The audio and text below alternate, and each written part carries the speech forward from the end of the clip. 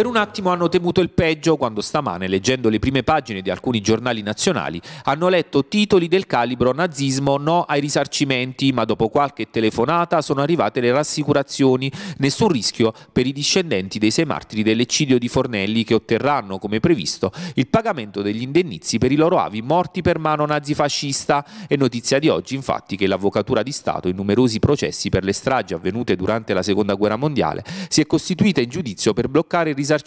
già previsto attraverso un decreto dell'allora governo Draghi. Pericolo scampato invece per Fornelli, in quanto la sentenza che riguarda il borgo in provincia di Sernia è già passata in giudicato. Questo significa che non potrà essere presentato nessun ricorso. A confermarlo anche il sindaco Giovanni Tedeschi, contattato telefonicamente. Tutto come previsto, quindi 34 familiari delle vittime riceveranno entro marzo dallo Stato italiano 12 milioni di euro, mentre al comune arriveranno 637 mila euro che l'amministrazione utilizzerà per realizzare opere in memoria di quei sei martiri che il 4 ottobre 1943 vennero giustiziati dai nazisti. Una vicenda complessa perché dinanzi alla mancata volontà da parte della Germania di pagare per i crimini commessi, a farsene carico nel 2022 è stato lo stesso Stato italiano attraverso il Fondo Crimini di Guerra stanziato nell'ambito del PNRR, un importo totale di 61 milioni di euro e mentre altri centri italiani che hanno subito la stessa sorte sono in subbuglio e promettono battaglie legali, a Fornelli si può tirare un sospiro di sollievo.